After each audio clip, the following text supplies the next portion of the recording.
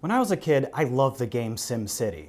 In it, you get to be a virtual mayor and design your own town, placing residential, commercial, and industrial zones, roads, power lines, parks, you name it.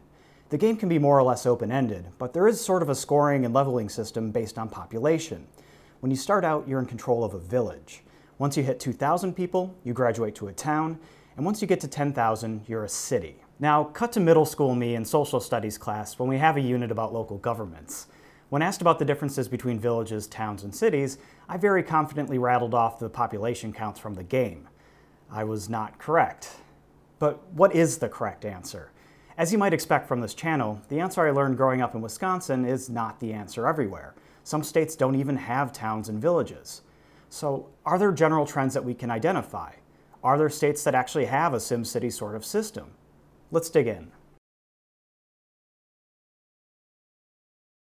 This video is all about terminology, so before we begin, we have to define some of those terms. I mean, on the one hand, it's obvious that Chicago is a city, Nashville is a city, Las Vegas is a city, Seattle is... Wait, rewind that. Okay, Las Vegas is definitely a city, and we can see its boundaries here. But the Las Vegas Strip, which is where most of the hotels and casinos are, is here. It's not part of any city. So let's back up and think about what we're talking about here. If we look at this image, we can see a mess of farmland, but with a small collection of stuff in the middle. These are homes, businesses, churches, etc. The U.S. Census Bureau refers to a concentration of people like this as a place. And that's a good general term because it doesn't overlap with any of the other words we're going to be using here. But looking at Florida, what makes Tioga just a place while 10 minutes up the road, Newberry is a city? The difference is that Newberry is incorporated. Again, what this means varies from state to state, but in general, being incorporated means that there is some specific local government that oversees a place. I might be making this sound overly technical, but something like a city hall with a mayor and the council and Leslie Knope in the Parks Department would be an example of this. And looking at terminology, these are often called municipalities. Now, pretty much anywhere you go will be under the control of the state government and some broader local government like a county. Plenty of people are okay with just having that, especially when it comes to the additional taxes and regulations that being in a municipality might require. This is one of the reasons the Las Vegas Strip isn't actually in Las Vegas. There was a proposal in the 1950s for the city to annex the Strip, or add it to its boundaries, but instead the area formed itself into a town, which in Nevada is still unincorporated, but it had the upshot of blocking the city from taking over. But that's not always the case. If there is a group of residents of some minimum population somewhere that get together and decide that they want more services and more local self-control, they can file a petition with their state to incorporate and create one of these governments for themselves. And this is constantly happening looking across the country. The census added nine new incorporated places to its maps in its most recent annual release. This distinction between unincorporated and incorporated is important because depending on the state, the label of city, town, village, or a few other terms, can be based on whether the place is incorporated or not. For instance, in Nevada, or my home state of Wisconsin, towns are unincorporated. In other states, like Arizona and Colorado, towns are incorporated. So how do states classify places? Well, let's start with the exception. Alaska and Hawaii are both outliers when it comes to how they handle their local governments. And this is at least partly due to them being designed in the relatively modern era, where they were aware of how urban areas had developed in the wake of the Industrial Revolution and the general trend of people moving away from rural areas that still continues today. Now, Alaska is a bit weirder with their counties, or as they call them, boroughs, and I cover them in my previous video on the topic. Hawaii, on the other hand, is weird when it comes to its incorporated places, in that they don't have any. Their principal form of local government is just the county, and they call the head of each of their five counties mayors, which you would expect from a city. But there are still identifiable communities within these counties. For instance, if you look at the address for the mayor's office in Hawaii County, it's in Hilo. But there is no independent Hilo government or even a Hilo website. It's not its own unit. Where this really gets weird is the fact that there is technically a city in Hawaii, because the government on the island of Oahu is officially called the City and County of Honolulu. It's a consolidated city-county. But there's also a specific place within the county that is referred to as Honolulu, and it doesn't cover the entire county. There are other communities, like Pearl City, which is not a city, except for the fact that it's in the city of Honolulu, which is also a county.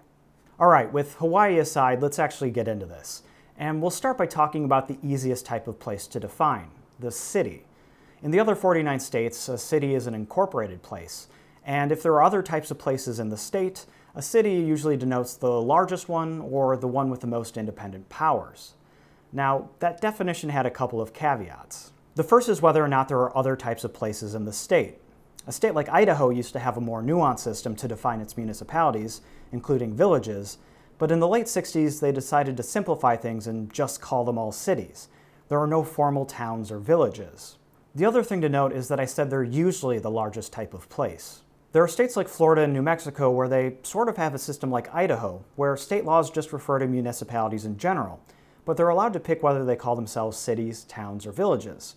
For instance, Bay Lake and Lake Buena Vista are two of the smallest municipalities in Florida, having about 60 people total between them, but they're both cities. If you're wondering why they incorporated such a big area with such a small population, well, this is Walt Disney World, and in Florida, Disney kind of gets what it wants. One thing I didn't note is that states can distinguish between types of cities, and they can do so based on a few different factors. One approach is to divide up cities into classes based on population size, so that they can place different requirements and give different powers to larger cities versus smaller ones. Alabama is an extreme example here. They divide cities up into eight classes, and the top few only have one or two cities apiece. Another more fundamental way that cities can vary within a state is based on their organization. Most states have a distinction between what are known as general law cities and charter or home rule cities. Now, this difference deserves a video of its own, but the basic idea is that charter cities operate under a charter, which is almost like a city constitution, while general law cities operate under rules given through state statutes. Charter cities often have more freedom than general law cities to make decisions for themselves, as long as they stick within their charter. In a handful of states, all cities are chartered, in others, none are, but for those where it's optional, charters tend to be for larger cities. All right, so let's move on to towns. Now, the states that have towns can be divided into two broad groups. The first group treats towns a lot like cities. As I mentioned before, some states have no difference at all between cities and towns, they're just a name. Some base the difference on the type of government that cities versus towns are allowed to have. For example, in Indiana, cities have mayors, while in towns, executive power is held by one of the town council members chosen by the rest of the council. Other cities base the difference on population. For instance, in Arkansas, a population above 500 makes it a city, and a population below 500 makes it a town. Although it's worth noting that states usually don't make changes automatic as populations change. Usually they have to file a petition with the state to have that happen. The second broad group of states that have towns uses the term in a way that's different enough that the census doesn't actually consider them places, at least in the same sense as cities. This is common in the Northeast and in the middle of the country. Essentially, the entire state, except for maybe the municipalities or some small scattered areas, is divided up into towns, or as are often called in the Midwest, townships. You can kind of think of this as a parallel to how states are divided into counties.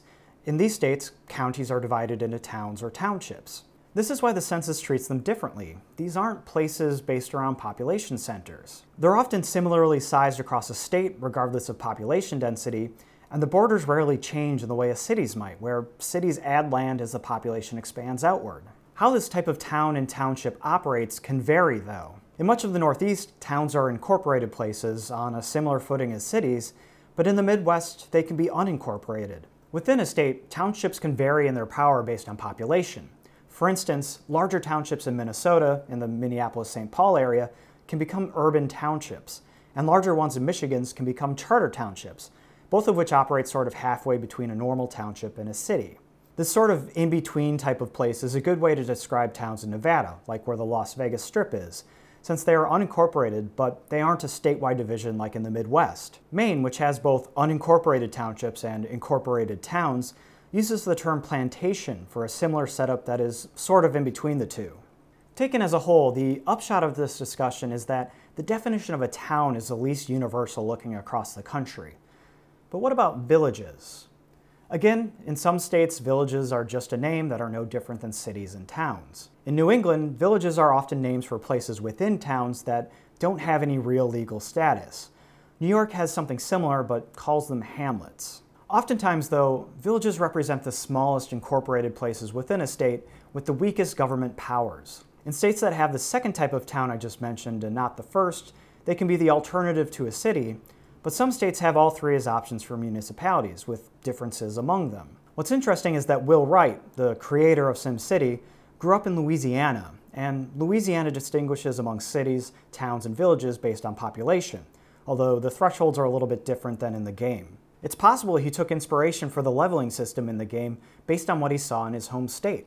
So those are the three major terms for types of places in the United States. But are there others? SimCity has three more levels in the game beyond city, which are capital, metropolis, and megalopolis. Being a capital is obviously something additional to being a city. It means the state government is based there. And metropolises and megalopolises just refer to either especially large cities or more often multiple nearby cities that are connected to each other. They're not really terms that describe the same type of thing as cities and towns. One place to look is New Jersey, which just loves variety on this front. Not only does it have cities and villages, it also has towns and townships, and it also has boroughs. It actually has more boroughs than any other type of place. All five of these types are incorporated places, and at one time they signaled different forms of governments. There were reforms throughout the 20th century that changed the system, though, so essentially they're just names at this point. A few other states also have places they call boroughs. Pennsylvania uses the term the way other states use the term village, and Connecticut uses them for places that are within a larger town. But the most famous example has to be New York City, which is divided into five boroughs, each of which is coterminous with a county in the state. Beyond that, there are some additional terms used in New England. I said that some small scattered areas are not covered by towns in a few states, and there are a handful of names that get applied to these unincorporated areas, many of which have no population. New Hampshire uses the term township for six of these. That's not that noteworthy since a lot of other states use the term, but one of these six is Dixville, which contains Dixville Notch, which is famous because all of the registered voters there since the 1960s choose to cast their ballots at the stroke of midnight in presidential primaries and general elections. That allows them to tally their results immediately, so they make the news every four years for being the first results reported. The other four types of names for these unincorporated areas all have a person or a group's name in front of them, which is kind of an interesting look into the history of these states. One example is the Purchase. Crawford's Purchase, New Hampshire, for instance, is named that because it was purchased by Ethan Crawford back in 1834. He paid about 50 cents an acre, which is a pretty good deal. There is also the grant. For example, Second College Grant, New Hampshire, gets its name because it was the second parcel of land granted by the state to Dartmouth College, which still owns the land over 200 years later. There are also gores, which come from an Old English word meaning corner.